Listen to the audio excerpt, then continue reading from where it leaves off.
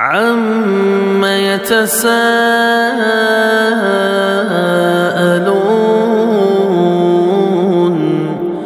عن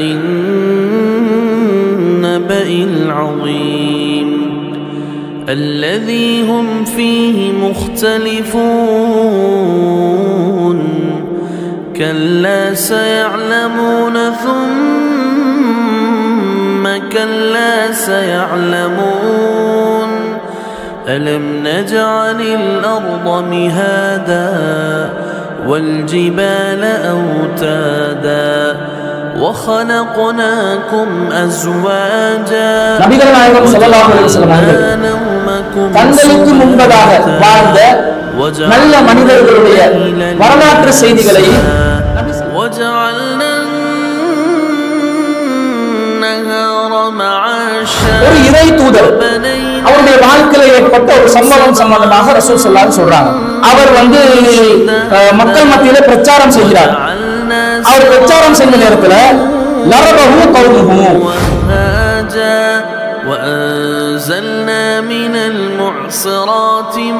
இந்த சம்பவத்துல எவ்வளவு பெரிய ஒரு படிப்பினர் இருக்கிறது பாருங்க. முதலாவதாக நாங்க வாழக்கூடிய ஒரு சமூகத்தை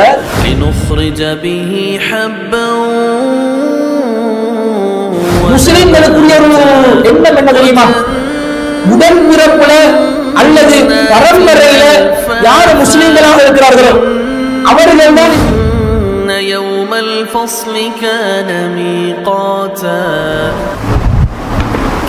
السلام عليكم ورحمة الله وبركاته إن الحمد لله نحمده ونستعينه ونستغفره ونعوذ بالله من شرور أنفسنا ومن سيئات أعمالنا من يهدي الله فلا مضل له ومن يضلل فلا هادي له. واشهد ان لا اله الا الله وحده لا شريك له. واشهد ان محمدا عبده ورسوله اما بعد. அகிலத்தை படைத்து பரிபாலிக்கக்கூடிய எல்லாம் வல்ல அல்லாவுக்கே புகழ் அனைத்தும் அல்லாஹுவின் சத்திய தூதர் எம்மூரிலும் மேலான கம்மணி நாயகம் சல்லல்லாஹு அலி வல்லம் அவர்கள் மீதும் அன்னவர்களை பின்பற்றி வாழக்கூடிய அனைத்து முஸ்லிம்கள் மீதும் எல்லாம் வல்ல அல்லாஹுவின் கருணையும் சாந்தியும் என்னென்னும் நிலவட்டமாக அன்பிற்குரிய அல்லாஹுவின் நல்லடியார்களே நெகிழ்வூட்டும் நிகழ்வுகள் என்ற தலைப்பின் கீழே நாம் தொடர்ச்சியாக சில செய்திகளை பார்த்து வருகிறோம்.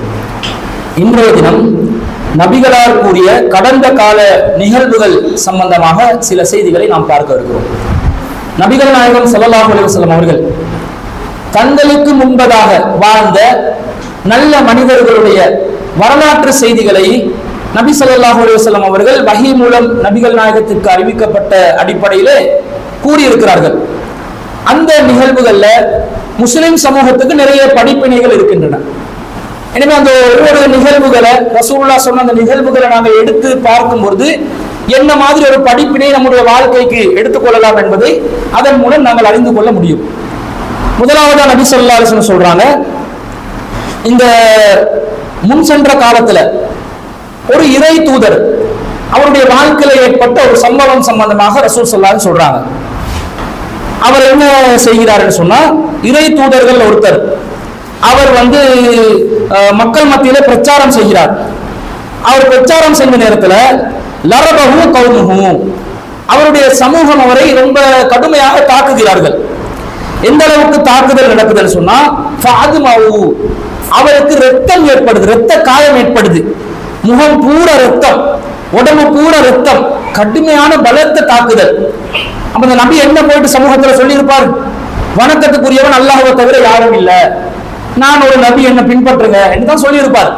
இந்த செய்தி சொன்னதனால அந்த சமூகமே சேர்ந்து அவரை தாக்குகிறார்கள். அவர் என்ன செய்கிறார்? எம் சகுத்தம அம் வஜீஹி. முகத்தில் இருக்கிற ரத்தத்தெல்லாம் இப்படி கையால தொடச்சிட்டு அந்த நபி என்ன சொல்கிறாருன்னு சொன்னா அல்லாஹ் மஃபிர்லி அல்லாஹ் மஃபிர்லி கௌமி. இறைவா என்னுடைய சமூகத்தை நீ மன்னித்து விடு. ரத்தத்தை தொடச்சி கொண்டு அவர் என்ன சொல்றாரு? என்ற சமூகத்தை நீ மன்னித்து விடு. அவர்கள் அறியாத மக்களாக இருக்கிறார்கள் என்று அந்த நபி சொன்னார் என்று நபிகள் நாயகம் சொல்லாரிசன் சொல்றாங்க. இந்த சம்பவத்துல எவ்வளவு பெரிய ஒரு படிப்பின இருக்கிறது பாருங்க. முதலாவதாக நாங்கள் வாழக்கூடிய ஒரு சமூகத்தை நம்முடைய சமூகமாக நாங்கள் நினைக்க வேண்டும். முஸ்லிம்களுக்குரிய ஒரு எண்ணம் என்ன தெரியுமா? உடன்பிறப்புல அல்லது பரம்பரையில யார் முஸ்லிம்களாக இருக்கிறார்களோ அவர்கள் தான் எங்களுடைய சமூகமாக நாங்கள் நினைத்துக் கொண்டு இருக்கிறோம் எங்கட சமூகம் யாரு? முஸ்லிம்கள் என்று யாரு பேர் வச்சிருக்கிறாங்களோ அவங்க தான் எங்கட சமூகம். அவங்க தான் எங்கட கவும். அவங்களோட தான் நாங்க இருக்கணும். அவங்கள பத்தி தான் நாங்க யோசிக்கணும். அவங்கள நினைச்சுதான் நாங்க எங்களோட காரியங்கள் எல்லாம் செய்யணும் என்ற மாதிரி ஒரு எண்ணத்தோடு இருக்கிறாங்க. ஆனா முன் சென்ற நபிமார்கள் எல்லாம் எப்படி யோசிச்சிருக்கிறாங்க தெரியுமா? யா கௌமி என் சமூகமே யா கௌமி என் சமூகமே என்று யார என் சமூகம் என்று சொல்றாங்க தெரியுமா? அல்லாவை மாத்திரம் வணங்குங்கள். அல்லாவை தவிர உங்களுக்கு வேற எந்த கடவுளும் கிடையாது என்று அந்த சமூகத்திலே வாழ்ந்த காபிர்களை பார்த்துதான் என் சமூகம் என்று சொன்னார்கள். ஏன்னா யாருக்கு அல்லாஹ் மட்டும் வணங்கணும் என்று சொல்லுவாங்க? காபிர்களுக்கு தானே மாலக்கும் மின் இலாயின் கயிறு. உங்களுக்கு அல்லாவை தவிர வேற எந்த கடவுளும் இல்லை என்றாங்க இப்ப யாருக்கு சொல்லியிருப்பாங்க? காப்பீடுகளுக்கு தானே. அவங்களை எப்படி அழைக்கிறாங்க? ஆரம்ப வார்த்தை என்ன? அழைப்புக்குரிய வார்த்தை என்ன? யா கௌமி என் சமூகத்தாரே. அந்த உணர்வோடு வாழ்ந்தாங்க. காஃபிர்கள் நம்முடைய சமூகத்தை சேர்ந்தவர்களை நாங்கள் நினைக்கணும். எப்படி நினைக்கணும்? இந்த காலம் இறுதி உம்மத்துக்குரிய அல்லாவின் தூதர் சல்லாஹ் அலுவலம் அவர்கள் தூதராக இருக்கிறார்கள் என்றால் அந்த தூதருடைய தூது செய்தி ஒட்டுமொத்த கியாமத் நாள் வரைக்கும் வரக்கூடிய அனைத்து மக்களுக்கும் கொண்டு போய் சேர்க்கப்பட வேண்டும். அந்த சமூகம் அனைவரும் அல்லாஹ்வின் தூதருடைய சமூகம். அப்படி நினைச்சாதானே நாங்க தாவா பண்ணவே நினைப்போம். நம்ம சமூகத்துல முஸ்லிம் அல்லாதவர்களுக்கு இஸ்லாத்துல செய்தியை சொல்ற எண்ணமே இருக்காது. அதுக்கு காரணம் என்ன தெரியுமா? அவங்களோட சமூகத்துல அங்கமா நினைக்கவே இல்லையே. அவங்க நஜீசி பிடிச்சவங்க அவங்க முஸ்லீக்குகள் முஸ்லிக்குகள் அவங்க அந்த என்னது மலசலம் க- கழிச்சா மலம் கழிச்சா துப்புரவாக்க மாட்டாங்க ஜலகம் கழிச்சா துப்புரவாக்க மாட்டாங்க. இந்த மாதிரி ஒரு விதமான ஒரு திரையை போட்டு தூரமாக்கி வச்சிருக்கிறாங்க. அந்த சமூகத்துக்குள்ள ஊடுருவி பார்த்தால் அப்பாவி மக்கள் இருப்பார்கள். நல்ல மனிதநேயம் உள்ள மக்கள் இருப்பார்கள். மனுஷ தன்மை உள்ள மக்கள் இருப்பார்கள். செய்தி மட்டும் சரியா அவர்களுக்கு கொண்டு போய் சேர்க்கப்பட்டா இந்த இஸ்லாத்தை துணிச்சலோட மக்கள் மத்தியிலே கொண்டு போய் சேர்க்கிறபடி அவர்கள் செய்வார்கள். அந்த எண்ணம் நம்ம ஆக்களுக்கு இருக்குதா? இல்ல. இந்த தாவா பணிய கூட. முஸ்லிம் அல்லாதவர்களுக்கு செய்யற தாவா பணிக்கு நன் முஸ்லிம் தாவான்னு தனியா லேபல் வேற அடிப்பாங்க. அது நன் முஸ்லிம் தாவா என்றாலே முஸ்லிம் அல்லாதவருக்கு தாவா பண்றது தானே. நம்ம சமூகத்துல பேர் தாங்குகிறாக இருக்கக்கூடிய முஸ்லிம்கள் ஏதோ ஒரு விதத்தில் கலிமாவை ஏற்றுக்கொண்டிருக்கிறார்கள். முஸ்லிம் என்ற வட்டத்துக்குள்ள இருப்பாங்க. சிறுக்கு செய்து கொண்டு முஸ்லிமா இருப்பாங்க. இவர்களுக்கு நாங்க இந்த சமூகத்துல முஸ்லிம் என்ற பேர்ல இருக்கிறவங்களுக்கு திருத்தம் சீர்திருத்தம் தான் செய்யணும். இதான் குருவான் இதான் ஹதீஸ் இதான் சிறுக்கு இதான் விதத்து இதான் தௌஹீது என்று விளங்கப்படுத்துற வேலையை தான் நாங்க செய்யணும். இன்னொரு இடத்துல இருந்து இன்னொரு இடத்துக்கு அழைக்கிற வேலைய யாரை பார்த்து நாங்க செய்யணும்? முஸ்லிம் அல்லாத சமூகத்தை பார்த்து செய்யணுமா இல்லையா? செய்யணும். ஒரு தாவா பண்ணும்போது முஸ்லிம் அல்லாதவர்கள் இதை எதிர்ப்பார்கள் தான். அவங்க இதை கஷ்ட கடும் பயங்கரமான ஒரு கொள்கையா பார்ப்பாங்க. இவளை விரோதிகளா பார்ப்பாங்க. அவங்க வணங்குற சிலைகளுக்கு எதிரான ஒரு சிந்தனையில நாங்க இருக்கிறோம் என்ற ஒரு பார்வையில எங்களை பார்ப்பாங்க. அப்படி பார்த்து நம்மளை தாக்கக்கூடும் நம்மளை விமர்சிக்க கூடும் நம்மளை சிறைப்பிடிக்க கூடும் நம்மளை நோவினை செய்யக்கூடும் நம்மளை கொலை செய்யக்கூடும். அதுக்காக பகையை உண்டு பண்ணுவோமா? அவங்கள பகையா பார்ப்போமா? பகைவர்களா பார்ப்போமா? எப்படி பார்க்கணும்?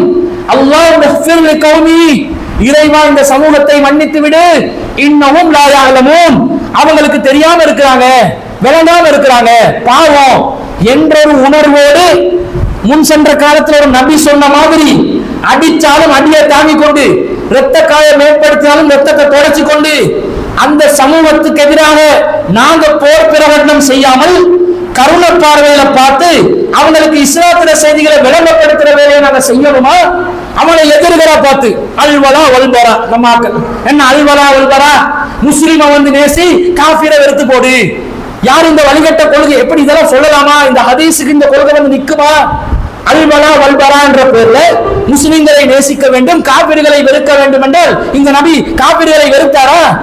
தன்னை தாக்கின காபிரை கூட எப்படி பார்த்தாங்க? அவங்களுக்கு இஸ்லாம் வரணும். இஸ்லாத்துடைய செய்தி வந்து சேரணும். இஸ்லாத்துடைய வெளிச்சம் அவங்களுக்கு போகணும் என்று நினைத்து அந்த மனோநிலையில் அவர்களை பார்த்தார்களே அந்த பார்வை நம்மிடம் இருக்கிறதா? சிந்திங்க. இப்ப எவ்வளவு முக்கியமான ஒரு செய்தின்னு பாத்தீங்களா இந்த செய்தியில இருந்து நாங்க இந்த பாடத்தை படிச்சு கொள்றோம் அடுத்ததாக நபிகள் நாயகம் ஸல்லல்லாஹு அலைஹி அவங்க இன்னொரு சம்பவத்தை சொல்றாங்க. ரசூல்லா சொல்றாங்க முன் சென்ற காலத்துல ஒரு மனிதர் இருந்தார். அவர் ஒரு நல்ல மனிதர். அவருக்கு கொஞ்சம் வசதியும் இருக்குது. அவர் என்ன செய்வாருன்னு சொன்னா கடன் கொடுப்பாரு நிறைய பேருக்கு. கடன் வஸ்- கடன் கொடுக்கிறது. வட்டி இல்லாத கடன். வட்டியோட கடன் இல்லை. வட்டி இல்லாத கடன் கொடுப்பாரு. கொடுத்துட்டு அந்த கடனை வசூல் செய்யறதுக்காக ஒரு வேலைக்காரனை வச்சிருந்தார் பணியாளரை. அந்த பணியாளர் கிட்ட இன்னார் கடன் தர இருக்குது இன்னார் கடன் தர இருக்குது பட்டியலை போட்டு கடனை வசூலிச்சுட்டு வாங்க என்று சொல்லுவாங்க. சொல்லும் போது என்ன சொல்லி அனுப்புவாருன்னு சொன்னா இதான் அத்தைத்த முசிரன். நீங்க ரொம்ப கஷ்டமான நிலையில இருக்கிற ஒரு கடன்காரன் கிட்ட போனீங்கன்னு சொன்னா அன்ஹு. அவர் விஷயத்துல கொஞ்சம் வந்து மன்னிக்கும் மனநிலையில் தாராளமான மனசோடு நீ நடந்து கொள்ள வேண்டும். அவரை மன்னித்து விட்டுற அளவுக்கு நீ நடந்துக்கோ. கடுமையா நிக்காதே கராரா நிக்காதே. ஏன் தெரியுமா? லஅல்லல்லாஹ ஐயத ஜாவஸ அன்ஹா. அல்லாஹ் தஆலா நீங்கள் என்ன செய்யலாம்? தாராள மனசோட மன்னித்து விட கூடும் அப்ப அவட்ட மனசை பாருங்க. கடனை வசூலிக்க அனுப்பினா கடனை வசூலிச்சுட்டு வா கராரா நில்லு. அடுத்த தவணைக்கு தரலன்னு சொன்னா உன் களத்தை அறுத்துருவேன்னு மிரட்டிட்டு வா என்று சொல்லாம கஷ்டமா இருக்கிறாங்களா? கொஞ்சம் தாராள மனசோட அதை மன்னிச்சதா சொல்லிடு. அப்ப அல்லாஹ் தால நம்முடைய பாவங்களை மன்னிக்க கூடும் அவர் இந்த கடன் கொடுக்கறத எதுக்கு ஒரு ஒரு விஷயமா வச்சிருந்தாருன்னு சொன்னா அவர் மறுமையில சொர்க்கத்தை அடைகிறதுக்குரிய ஒரு வசீலாவாக அவர் வைத்திருந்தார். நன்மையை செய்யக்கூடிய ஒரு கருவி அது. கடனை கொடுத்துட்டு இபாதத் செய்யறதுல எந்த அளவுக்கு நமக்கு மறுமையில அல்லாஹ் கிட்ட வெற்றி அடைய முடியுமோ தெரியல. இந்த மாதிரி ஒரு மனிதநேய பணியை செஞ்சாவது அல்லாஹ் கிட்ட நான் சொர்க்கத்தை அடையலாம் என்ற மாதிரி ஒரு யோசனையில ஒரு வேலையை செய்யறாரு அல்லாஹ் என்ன- என்ன பண்றான்? ஃபலக்கி அல்லாஹ். அவர் அல்லாஹுவை சந்தித்தார். ஃபதஜாவஸ் அன்ஹு. அல்லாஹ் அவருடைய பாவத்தை மன்னிச்சுட்டான். அவருடைய எண்ணத்தை பார்த்தீங்களா. இவர் பெருசா இபாதத் செஞ்ச மாதிரி எல்லாம் செய்தியில வரல. இவருடைய பிரத்யேகமான அமலே என்ன தெரியுமா? கடன் கொடுக்கிறது கஷ்டப்படுறவங்களுக்கு மன்னிச்சு விட்டுறது. கடன் கொடுக்கிறதே ஒரு மனிதநேய உதவிதானே? கடன் கொடுக்கிறதே சாதாரண ஒரு விஷயம் இல்ல. அது ஒரு மனிதநேயம் இருக்குது. என்ன கடன் என்பது நான் இப்போ ஒரு தொகை காசு கொடுக்கும்போது நாம் அந்த கடனை வந்து திருப்பி எடுக்கிற காலத்துல இப்ப நான் கொடுக்கும் போது இருக்கிற பெருமதியே அந்த காசுக்கு தி- அந்த திருப்பி எடுக்கும் காலத்துல இருக்காது. அங்களே நான் ஒரு சேவை தான் செய்யறேன் ஒரு மனிதாபிமானத்தோட தான் நடந்து கொள்றேன். சிரமப்படுறவங்களுக்கு நான் கை கொடுக்கிறேன். இந்த கடன் என்ற ஒரு விஷயத்தை வச்சுக்கொண்டுதான் இன்றைக்கு உலகத்தில் இருக்கிற அனைத்து வங்கிகளும் வட்டியில வட்டி பொருளாதாரத்துல இந்த கடன் என்றதை அடிப்படையாக வச்சுதான் சா- காசு சம்பாதிச்சு கொண்டு இருக்கிறாங்க முழுக்க முழுக்க காசு சம்பாதிக்கிறதுக்கு வட்டி என்ற பொருளாதாரம் அடிப்படையாக வருவதற்கு காரணமே கடன் தான். மக்களுடைய பொருளாதாரத்தை சூறையாடுவாங்க. மக்களை வந்து சிரமப்படுத்துவாங்க. மக்களுடைய பொருளாதாரங்களை செல்வங்களை அப்படியே அபகரித்து எடுப்பாங்க வட்டியை வச்சு. ஆனா இவர் எப்படி பாக்குறாரு வட்டியும் வேணாம். நாம் தருகின்ற கடனே மன்னிக்கிறேன். ஏன் வசதியான ஒரு மனிதருக்கு இந்த நபி வழியை வந்து கடைபிடிக்க முடியாதா? இந்த முன் சென்ற சமூகத்துல இந்த செய்தி சொல்றதுக்கு என்ன காரணம்? நீங்க கடன் கொடுத்து மன்னிச்சீங்கடா அது மிகப்பெரிய அல்லாத மன்னிப்பு கிடைக்கிற அளவுக்கு ஒரு மகத்தான காரியம். அப்ப வசதி உள்ளவங்களுக்கு இதை செய்யலாமா இல்லையா? வட்டி இல்லாத கடனுதவி திட்டங்களை வச்சு யாருக்கு உண்மையிலே அவசியமாக தேவை இருக்கிறதோ?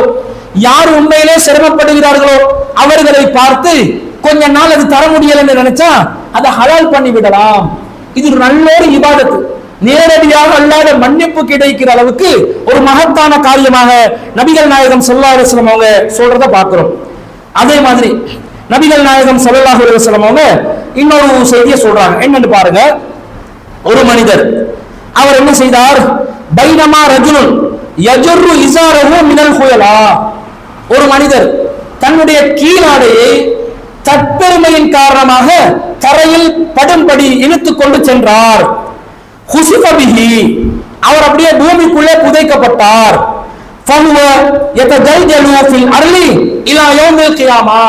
அவர் பூமிக்குள்ள புதைகிறது கியாமத் நாள் வரைக்கும் நடக்கும். என்று நபிகள் நாயகம் சொல்லான்னு சொல்றாங்க. தற்பெருமையின் காரணமாக ஆடைகளை தரையில் இழுப்படும்படி அணிந்து செல்வது. பொதுவா வந்து கரண்டைக்கு கீழே ஆடை அணிகிற விஷயத்தை ரசூல எச்சரிக்கிறாங்க. எப்படி எச்சரிக்கிறாங்க? மன் ஜர்ர சௌபஹு ஹுயலா யார் ஒருத்தர் தன்னுடைய கீழாடையை தற்பெருமையின் காரணமாக இழுத்து செல்கிறாரோ அல்லாஹ் வந்து அவரோட மறுமையில பார்க்க மாட்டான் பேச மாட்டான் அவரை பரிசுத்தப்படுத்த மாட்டான். எப்படின்னு சொல்றாங்க ரசூல் சல்லா அலைஹி அப்ப ஆடைய காரணத்தோட என்ன காரணம்? தற்பெருமை என்ற காரணத்தோட இழுத்துட்டு போக கூடாது தற்பெருமை என்ற காரணம் இல்லை என்று சொன்னால் ஆடை கீழே போறது வந்து மார்க்கத்தில் மேட்டர் ஒன்று கிடையாது. ரசூலா காரணத்தை சொல்றாங்களா இல்லையா? காரணம் வந்துருச்சு. நாங்க பயான் பண்ணி ஒரு போட்டோ போட்டா எல்லாம் என்ன பண்ணுவோம் தெரியுமா? உடனே இந்த ட்ரௌசர் கீழே உள்ள அப்பா அப்பா கரண்டைக்கு கீழே இப்படி ரவுண்ட் பண்ணி போடுவான் இவருக்கு ஆடை கரண்டைக்கு கீழே. அடே தற்பெருமை காரணமாக கீழே போகக்கூடாது என்றுதான் மார்க்கத்துடைய விதி.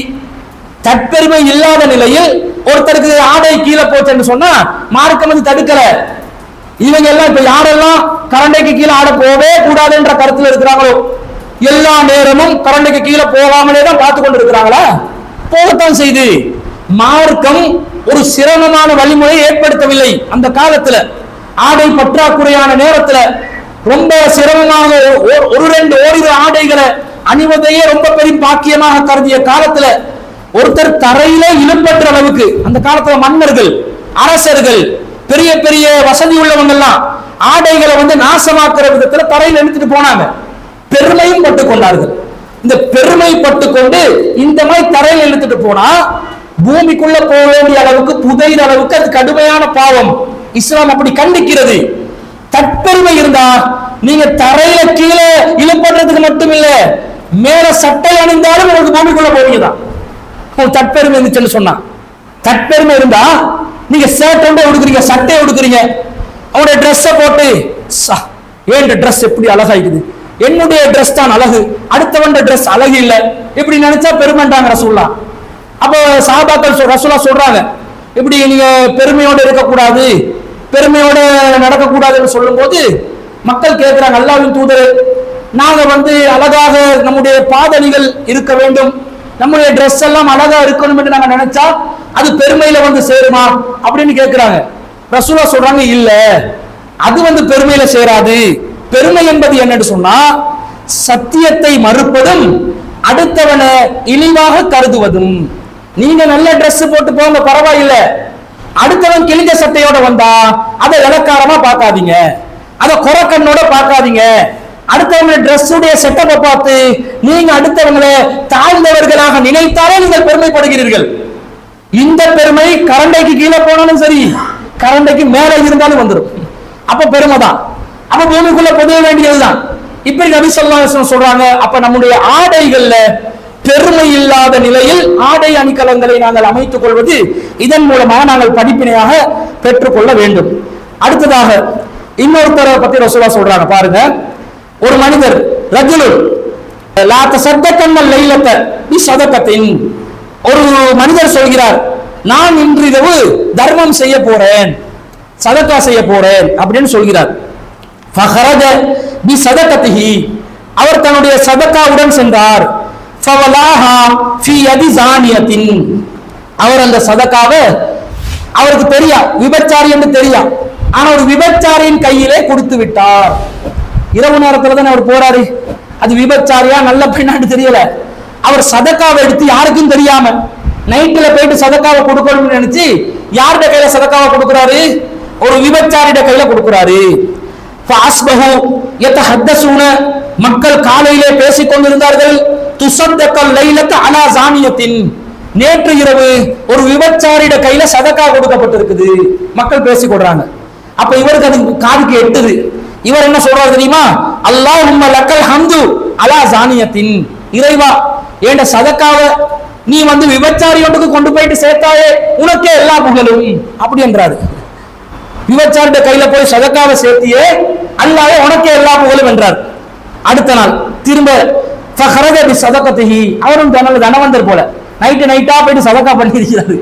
நீங்களும் என்ன பண்ணலாம்? நைட்டு நைட்டா போயிட்டு சதக்கா சா- காசுகளை வச்சிருந்தா தெரியாத ஆள் அடையாளம் இல்லாத ஆக்களுக்கு எல்லாம் கொடுத்துருங்க. அதான் ஆள் அடையாளம் இல்லாத ஆக்கள் தானே. யார் யாருன்றே தெரியா. பிறகுதான் தெரிய வருது. இவர் திரும்ப போறாரு. ஃபஹரஜ பி சதகத்திஹி ஃபவலாஹா ஃபி யதி கனியின் அவர் அந்த சதக்காவை கொண்டு போயிட்டு யாருக்கிட்ட கொடுக்கிறாருன்னு சொன்னா ஒரு பணக்காரனின் கையில் கொடுத்து விட்டார். சதக்கா யாருக்கு கொடுக்கணும்? ஏழைக்கு தானே கொடுக்கணும். இவர் யாருக்கு கொடுத்திருக்கிறாரு?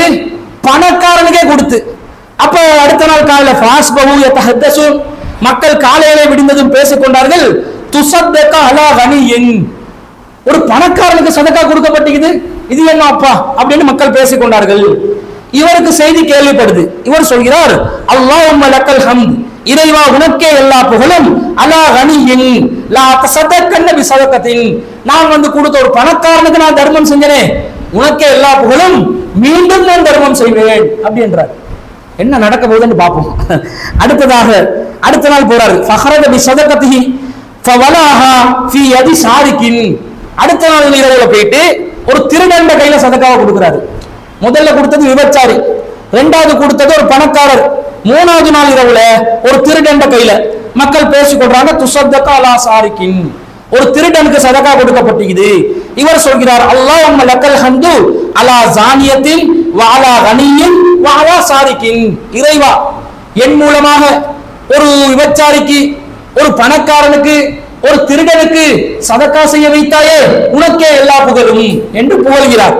அந்த நைட்டுல இவருக்கு கனவுல வந்து ஒரு செய்தி எத்தி வைக்கப்படுது. என்ன எத்தி வைக்கப்படுது? அம்மா அம்மா சதகத்துக்க சகது குபிலத். நீங்கள் செய்த சதக்காவை இறைவன் ஏற்றுக்கொண்டு விட்டான். நற்செய்தி. நற்செய்தி கனவு மூலமா வர நற்செய்தி. அவருக்கு வந்துருச்சு நற்செய்தி. இவர் செஞ்ச சதக்காவை அல்லாஹ் ஏற்றுக்கொள்ளுட்டான் அப்ப என்ன என்று சொன்னா காரணம் விளக்கம் வருது அம்ம ஜானியத்து ஃபல அல்லஹா தஸ்தைஃபு பிஹா அன் அந்த விபச்சாரியை பொறுத்தளவுல இந்த சதக்காவை பெற்றுக்கொண்டு அவருடைய விபச்சார தொழிலிருந்து மீண்டு விடலாம் திருந்து விடலாம்.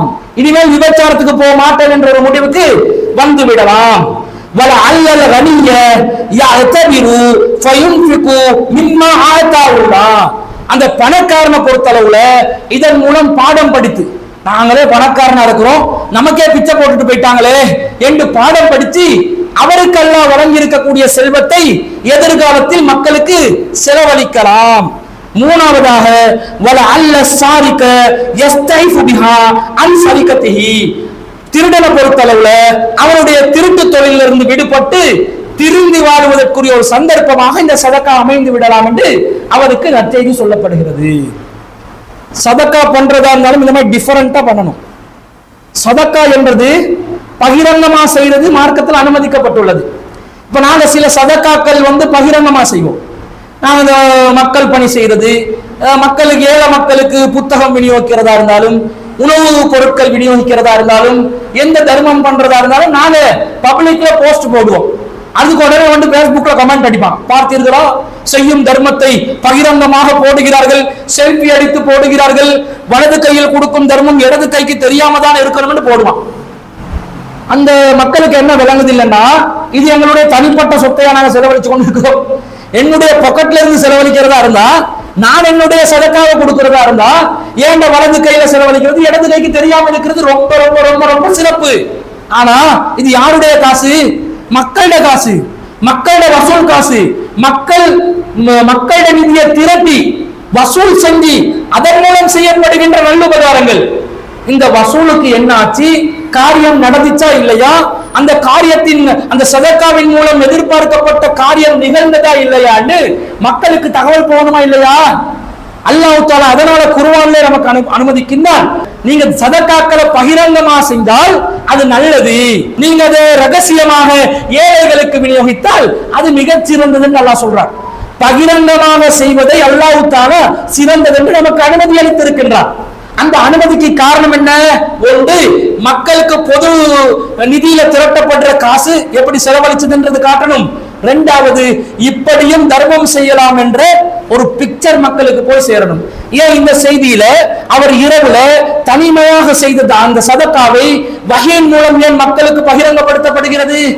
ஏன் அவர் தனியா தானே செஞ்சாரு? யாருக்கும் தெரியக்கூடாதுன்னு தானே செஞ்சாரு? மறுமையில் அதுக்கு அவருக்கு சொர்க்கம் கிடைச்சா போதும்னு தானே செஞ்சாரு? அதுக்கு அவருக்கு சொர்க்கம் கொடுத்தா போதும் தானே? ஏன் வழி மூலம் தெரிவிக்கப்படுதுன்னா இப்படியும் சதக்கா செய்யலாம். இந்த வழிமுறைகளையும் சதக்காக்களுக்கு மார்க்கம் வழிகாட்டுகிறது என்ற அந்த வழிமுறைக்காகத்தான் இஸ்லாம் என்ன சொல்லுது? இது சொல்லி காட்டுது. சிறந்தது நீங்க தனியா செய்யற தர்மத்தை ரகசியமாவே செய்யுங்க. எந்த அளவுக்கு சொன்னா உங்களோட வலது கையில கொடுக்கறது இடது கைக்கு தெரியாத அளவுக்கு பார்த்துக்கோங்க. குடும்பத்துக்கே தெரியாத அளவுக்கு பார்த்துக்கோங்க. மனைவியும் அறிய வேண்டிய அவசியம் கிடையாது. நீங்க தர்மம் செய்யறதுன்னு முடிவெடுத்தீங்கன்னு சொன்னா உங்களோட சொந்த காசுல தர்மம் பண்றதா இருந்தா தாராளமாக பக பரம ரகசியத்தோட உங்களோட தர்மங்களை மேற்கொள்ளுங்கள். அம்பலப்படுத்தி உங்களோட தர்மங்களை சொல்லி காட்டி தொல்லை கொடுத்து அதை நாசமாக்கி கொள்ளாதீங்க. மார்க்கம் அப்படித்தான் சொல்லுது. ஆனா பகிரங்கமா செய்ய வேண்டிய தேவை ஏற்பட்டால் பகிரங்கமா செய்வதில் மார்க்கம் எந்த தடையும் விதிக்கல. அப்போ செல்வந்தர்கள் என்ன செய்யணும்?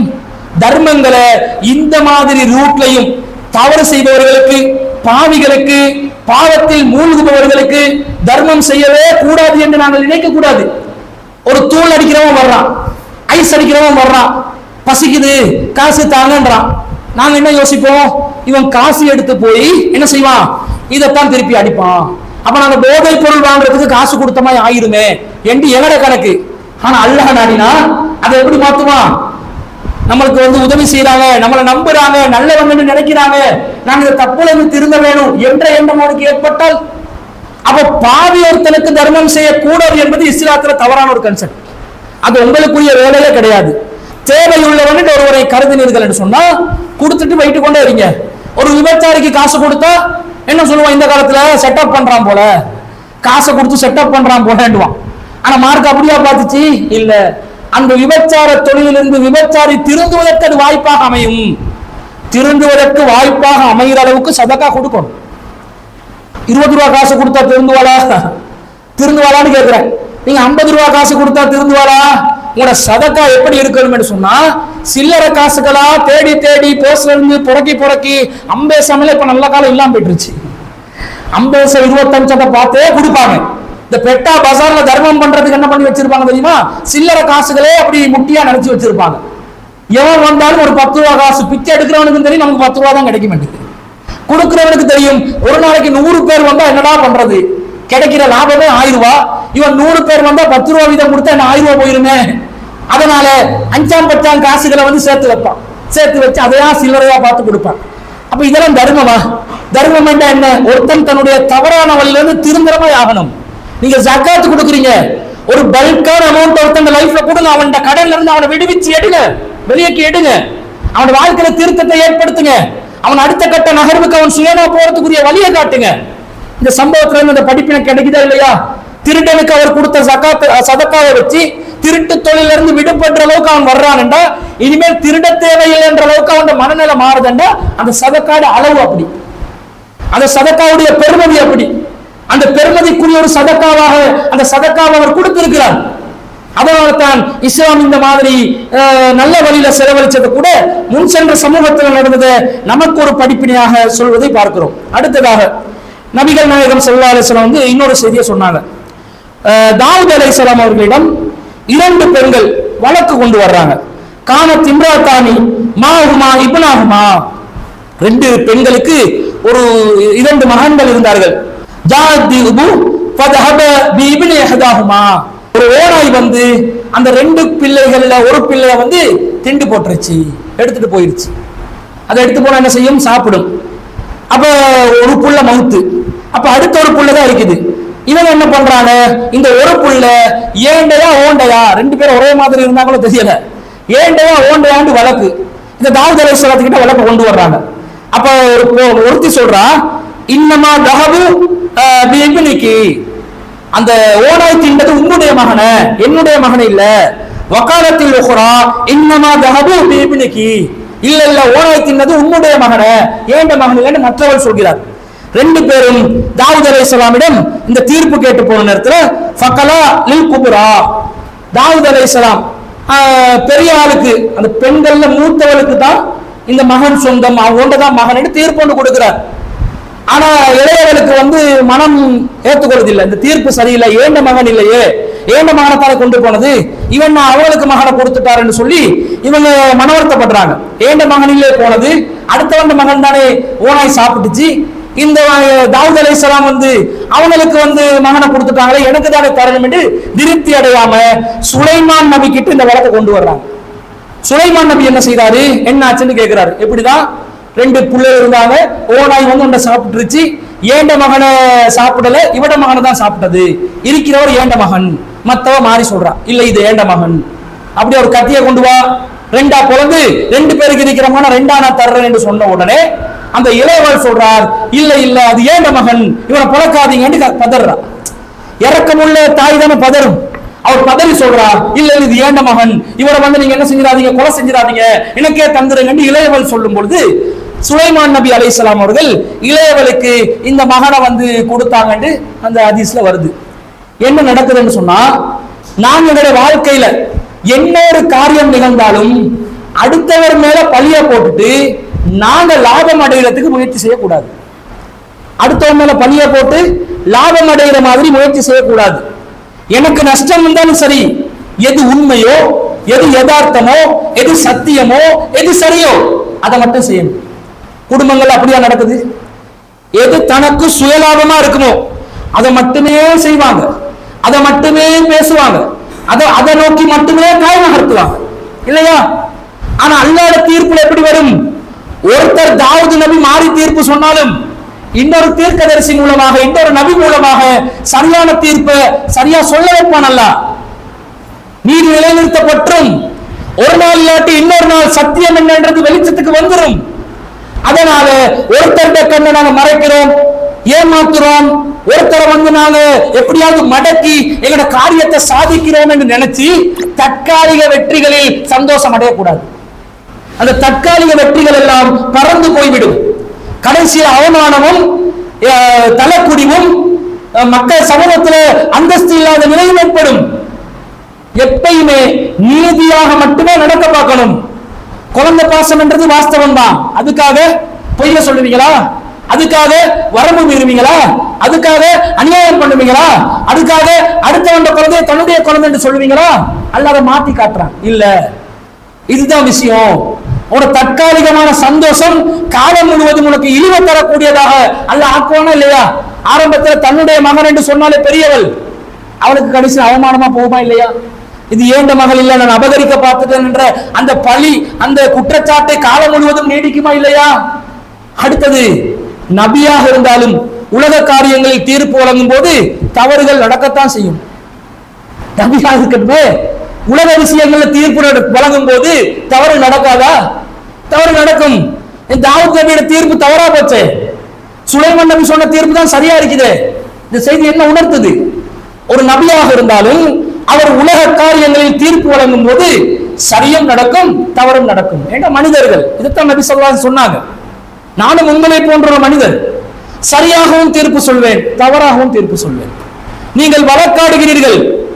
எங்களுடைய வாத திறமையை வைத்து உங்களுடைய சான்றுகளை வைத்து நான் தீர்ப்பு வழங்குவேன். ஆனால் அறிந்து கொள்ளுங்கள் நீங்கள் என்னை ஏமாற்றி அடுத்தவனுடைய சொத்தை அபகரித்தால் உங்களுடைய வாத திறமையால மறுமையில அதை உங்களுடைய தலையில் சுமந்து கொண்டு வருவீர்கள்.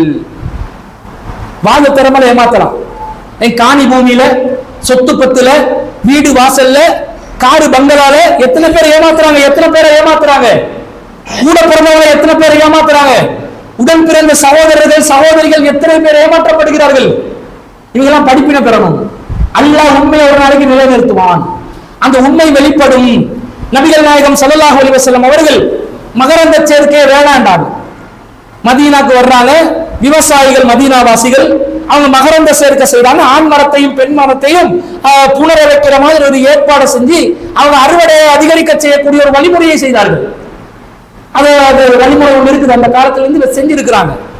அப்ப ரசூலை இது பார்த்துட்டு கேட்குறாங்க இதை நீங்க விட்டுட்டாங்க. எல்லாமே இதெல்லாம் ஆண் மரத்தையும் பெண் மரத்தையும் ஜோடியாக்கி எல்லாம் அறுவடை பண்றீங்க. என்னன்னு கேட்குறாங்க. சாபாக்கள் விட்டுட்டாங்க. அடுத்த வருஷம் அதே பகுதியிலிருந்து போகும்போது அறுவடையே காணாம். எல்லாம் ஜீரோ ஆகிருச்சு ரசூலா கேட்கிறா மாலி நானுக்கும் உங்களோட பெருத்தம் மரம் அடு அறுவடைகளுக்கு என்ன ஆனது? ரசூல் சல்லாச்சுக்கு சாபாக்கள் சொல்றாங்க எல்லாவையும் தூதரே நீங்க தானே வேணாண்டீங்க அதானே விட்டோம். அப்ப ரசூலா சொல்றாங்க இன்னமா அன பஷரும் மிஸ்லுக்கும். நானும் உங்களை போன்ற ஒரு மனிதர் தான் பாயிண்ட கவனிங்க. ரசூலா சொல்றாங்க இதா அமர்த்தக்கும் திசையின் மின் அம்ரி தீனிக்கும். நான் ஏதாவது விஷயத்தை உங்களுடைய மார்க்க விஷயத்திலே நான் கட்டளையிட்டால் அதை பலமாக பட்டு விடுத்துக் கொள்ளுங்கள். வைதா அமர்த்தக்கும் பிசையின் மின் அம்ரி துணியாக்கும் ஏதாவது ஒன்றை உங்களுடைய துனியா விஷயத்திலே நான் கட்டளையிட்டால் ஃபைன்னமான பசரும் மிசுலுக்கும் நானும் உங்களை போல ஒரு மனுஷன்தான். துனியால மிஸ்டேக் நடக்கும் பார்வை தப்பாக இருக்கும்.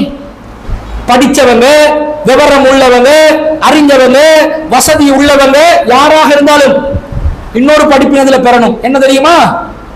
நீங்க நினைக்கணும் நாங்க எவ்வளவு தான் விவரமானவங்களா இருந்தாலும் எங்கட கைகளாலும் தவறான தீர்ப்புகள் வழங்கப்படலாம். இந்த மமதையை இல்லாம ஆக்கணும் கொஞ்சம் படிச்சவங்க என்ன நினைப்பாங்க தெரியுமா? குடும்பத்துல நாங்க சொல்ற கருத்து தான் வந்து நிக்கணும் என்று நினைப்பாங்க.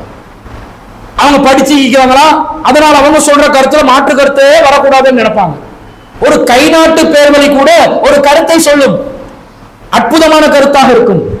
நல்ல ஒரு ஆலோசனையாக இருக்கும் உள்வாங்க வேண்டும். படிப்பை வச்சு தகுதியை வச்சு மசூராக்கள் நடத்துவதில்லை. கருத்து கேளுங்க. கருத்து கேட்கும் போது விவரம் இல்லைன்னு நீங்கள் நினைக்கக்கூடிய ஒருவரிடம் இருந்து கூட நல்ல கருத்துக்கள் வரலாம். வசாவிரும் ஃபில் அமர். காரியங்களில் முனாஃபிக்குகளோட கூட முனாஃபிக்களோட கூட நீங்க மசூரா பண்ணுங்க என்று அல்லாஹ் சொல்கிறான். ஃபைதா அசந்த ஃபதவக்கல் அலல்லா தீர்ப்பு எடுத்துட்டீங்கன்னு சொன்னா முடிவு எடுத்துட்டீங்கன்னு சொன்னா ஃபதவக்கல் அலல்லா அல்லாஹ் மீது தவக்கல் வைங்க. அவன் முனாஃபிக்கள் என்று தெரிஞ்சவங்களோட கூட மசூரா பண்ணி தீர்ப்பெடுங்க என்று அல்லாஹ் சொல்றான்னு சொன்னா யாருக்கிட்டையும் தீர்ப்பெடுக்கலாம் யாரிடமிருந்தும் தவற நடக்கலாம். மசூரா பண்ணிக்கொள்ளணும் உலக காரியங்களை மசூரா பண்ணி செய்து கொள்வதும் இதுல இருந்து விளங்குது. சுலைமான் நபி தாவூத் நபி எல்லாம் ரொம்ப பெரிய அறிஞர்கள். அவங்க சொன்னாங்க எங்களுக்கு பரவ மொழி தெரியும் எங்களுக்கு மொழி தெரியும். அவங்களுக்கு வந்து அல்லம் நாவு சன்னாத்தல பூசின் கவச ஆடைகளை தயாரிக்கும் முறைகளை நாம் தாவூதுக்கு கற்றுக் கொடுத்தோம். கவச ஆடைகள் இரும்பால Dress தயாரிக்கிறது போர்க்களங்கள்ல. அதை முதல் முதலாக உலகத்துக்கு அறிமுகப்படுத்துறது தாவூத் அலைஹிஸ்ஸலாம் அவர் ஒரு நபி மாத்திரம் அல்ல ஒரு போர் வீரர் ஒரு விஞ்ஞானி. அவர் ஒரு விஞ்ஞானியா இருந்ததுனால தானே அந்த அந்த ட்ரெஸ் செட்டப் உருவாக்குறாரு. அந்த டெக்னாலஜியை உருவாக்கினாரு. அப்படிப்பட்ட ஒரு அறிவு ஆற்றல் இருந்த தாவூத் நபி அலைஹிஸ்ஸலாம் அவர்களிடமிருந்து கூட தவறான தீர்ப்புகள் வரும் வரலாம். அது துனியா மார்க்க விஷயத்துல தவறான தீர்ப்பு கொடுக்க மாட்டாங்க. துணியாண்டு வரும் பொழுது தவறான தீர்ப்புகள் நபிமார்களிடம் இருந்தும் நிகழலாம் என்பது எவ்வளவு பெரிய ஒரு படிப்பின் எங்களுக்கு. அதை நாங்கள் சிந்திக்க கடமைப்பட்டிருக்கின்றோம். அதே மாதிரி ஆஹ், தூதர் சொல்லா அலைஹி அவங்க இன்னும் நிறைய செய்திகள் சொல்றாங்க. அதுல இன்னொரு முக்கியமான செய்திதான் அந்த ஒரு மனிதர் இருந்தார். அவர் வந்து தன்னுடைய வாழ்க்கை விஷயத்துல அவசரப்பட்டு தற்கொலை செய்து கொள்கிறார். என்ன தற்கொலை செய்து கொள்கிறார்? அவருக்கு வந்து ஒரு கஷ்டம் ஏற்படுது. அந்த கஷ்டம் ஏற்பட்ட உடனே அவர் அந்த கஷ்டத்தை தாங்கிக் கொள்ள முடியாம அவருடைய வாழ்க்கையை அவர் தன்னுடைய கையாலே இல்லாமாக்கி கொள்கிறார். ரசூலா சொல்றாங்க கான ஃபீமன் கான கபிலக்கும் ரஜுலன் பிஹி அஹ், ஒரு மனிதர் இருந்தார் உங்களுக்கு முன் சென்ற சமூகத்தில் அவருக்கு ஒரு காயம் ஏற்பட்டது. அந்த காயத்தினால் அவர் கஷ்டப்பட்டார். ஃபஹத் சிக்கீனன் ஃபஹஸ்ஸபியா எதஹூ அவர் ஒரு கத்தியை எடுத்து தன்னுடைய கையை வெட்டி கொண்டார்.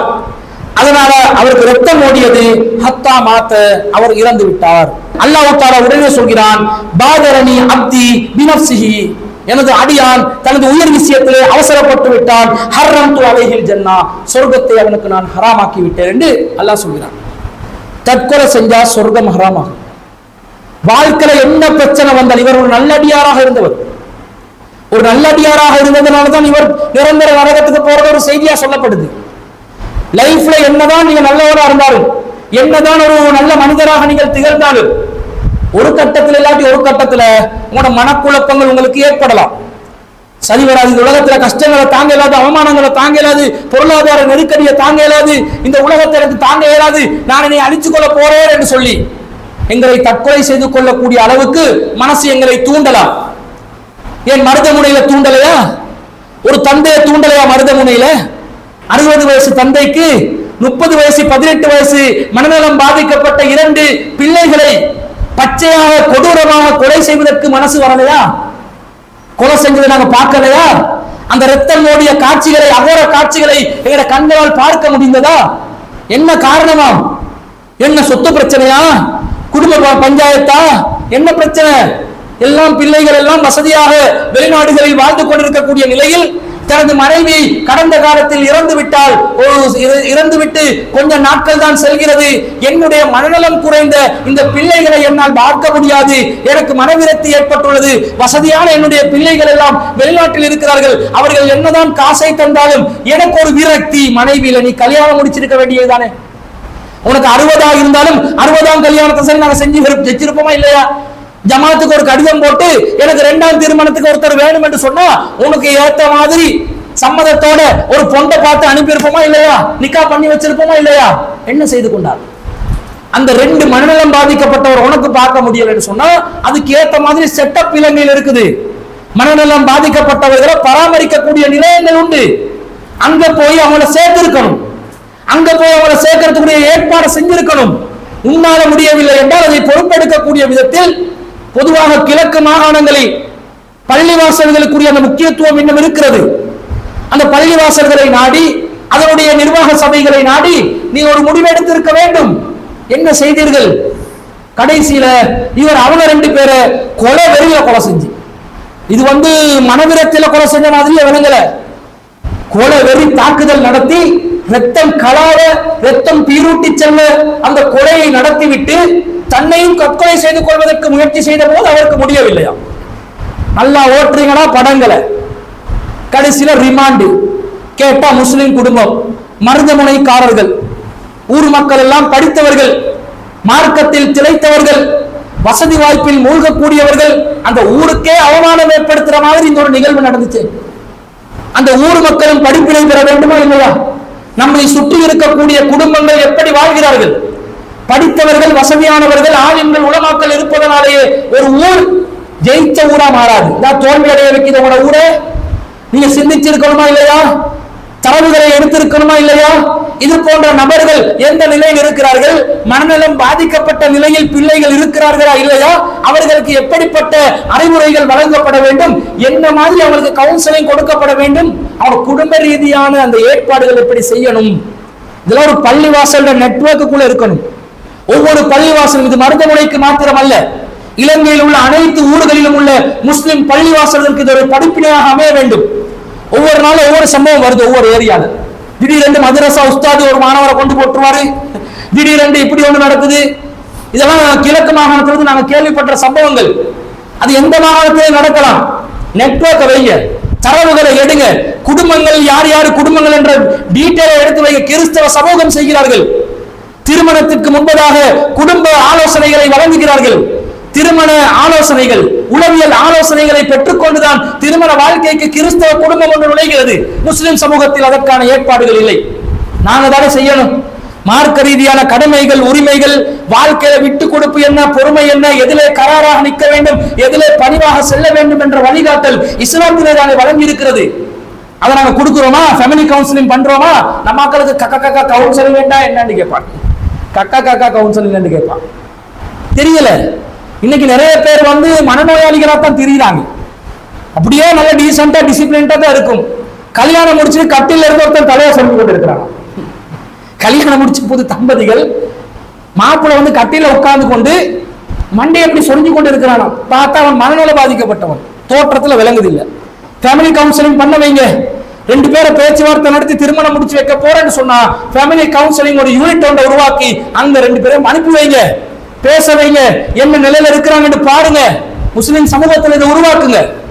உருவாக்கினால் இது போன்ற விபரீதங்களை பாதுகாத்துக் கொள்ள முடியும். அந்த மனுஷன் தற்கொலை செய்ய முயற்சி செய்தார். ஆனா இதை முடியாம போயிருச்சு. தற்கொலை செஞ்சிருந்தா இப்ப கொலை செஞ்ச குற்றமும் வரும். தற்கொலை செஞ்சிருந்தால் என்ன நிலை? ஹாலிதன் முகல்லதன் அபதா.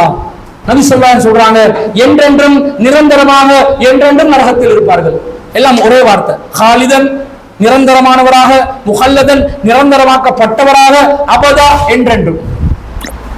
மூணு தடவை சொல்லப்படுது. நரகத்துல வந்து விடுதலே கிடைக்காது.